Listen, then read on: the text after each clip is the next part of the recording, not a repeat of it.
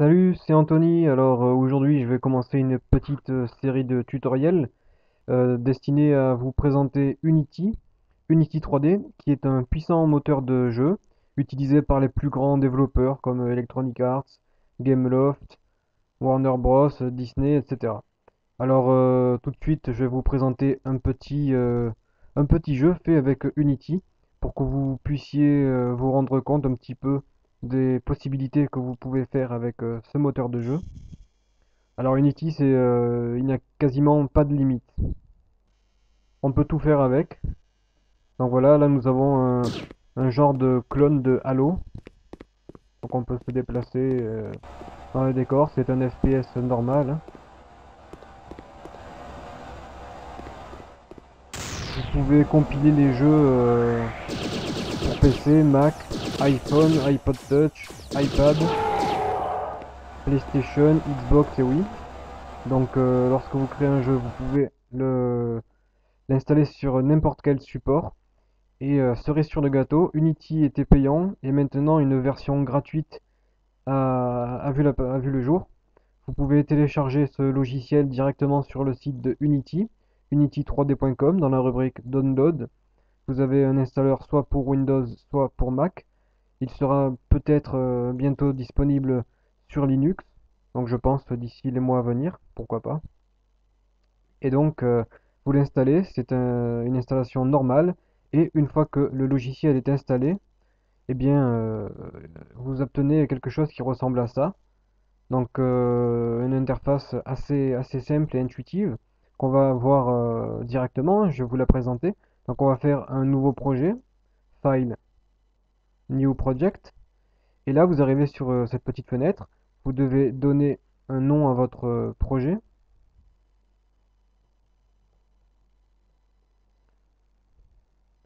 Donc on va l'appeler présentation Unity.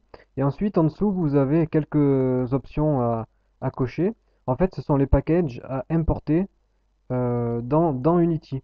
Donc par exemple, caractère contrôleur nous permettra de créer... il y a déjà des scripts en fait qui vous permettront de faire déplacer votre personnage dans la scène. Particle, c'est pour créer des particules, comme euh, un feu ou des explosions. Vous avez des matériaux physiques qui vous permettront d'ajouter du poids à vos objets et, ainsi qu'ils euh, subissent la gravité. Vous avez des scripts déjà prédéfinis, des skybox qui vous permettront de créer un ciel. Bon, les standards assets pour euh, la programmation iPhone, pour l'instant on n'y touche pas. Euh, des terrains assets qui vous permettront de créer des terrains, de modéliser vos terrains. Et ensuite, le reste, nous allons prendre le water basic qui nous permettra de créer de l'eau. Et si vous voulez, donc nous, ce ne sera pas utile, mais vous avez le tree creator qui vous permettra de créer des arbres. Donc là, sélectionnez les mêmes, euh, les mêmes options que, que j'ai cochées. Et ensuite, une fois que vous avez sélectionné les packages que vous voulez importer, nous allons cliquer sur le bouton Create et là, le logiciel se relance et importe tout ce que nous avons sélectionné.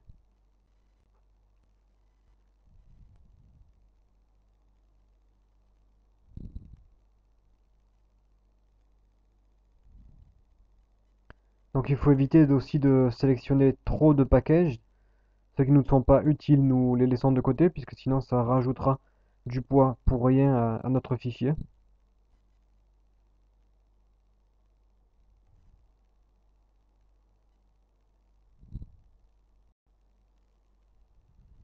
Voilà. Donc là, nous avons le pareil que tout à l'heure, l'interface, et nous avons un dossier standard assets qui contient tous les packages que nous avons sélectionnés. Donc nous pouvons commencer à travailler. Première des choses, c'est si vous n'avez pas la même configuration que moi, vous cliquez sur Windows, Layout et 2 by 3. Tac. Au moins vous avez la même euh, configuration que moi. Et ce que je fais, c'est qu'on sélectionne hiérarchie on la fait glisser en bas à droite. De cette manière, nous aurons plus de place pour visualiser la scène et, le jeu. Alors la première fenêtre, c'est la fenêtre de scène. C'est sur cette fenêtre que nous allons travailler, que nous allons modéliser les objets et euh, disposer les éléments. En dessous, nous avons la fenêtre de rendu. Ça veut dire que tout ce que nous allons créer dans la scène sera euh, mis à jour ici. Et donc on pourra voir le jeu en direct en fait. Si on appuie sur play, le jeu se lancera si on sélectionne maximise, on play, eh bien, nous aurons notre jeu en plein écran. Donc d'ailleurs, nous allons pour l'instant le laisser comme ça. À droite, dans le projet, vous avez tous les éléments qui sont importés, donc tous les outils que vous avez que vous pouvez utiliser dans votre scène. Et dans la hiérarchie, en bas, vous avez tous les éléments qui se trouvent déjà sur votre scène. Nous voyons que nous avons la main caméra qui est déjà sur euh, la scène. Donc à chaque fois que vous créez une nouvelle scène, la caméra est déjà présente puisque nous avons forcément besoin d'une caméra. Comme la caméra, c'est nos yeux en fait. Et vous avez vu, dès qu'on sélectionne la caméra, à notre droite, nous avons plein d'options. Donc à droite, c'est l'inspecteur.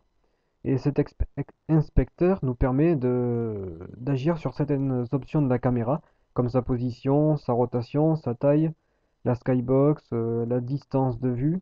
Et nous avons pas mal, euh, pas mal de choses que nous pouvons modifier. Alors je vais vous faire euh, dans cette petite vidéo une brève présentation de, l'interface. Nous allons par exemple créer un cube, donc GameObject create cube. Là, ce cube, nous allons le placer devant la caméra, comme ça on pourra bien le voir. On va faire un peu pivoter la caméra pour avoir une vue de dessus.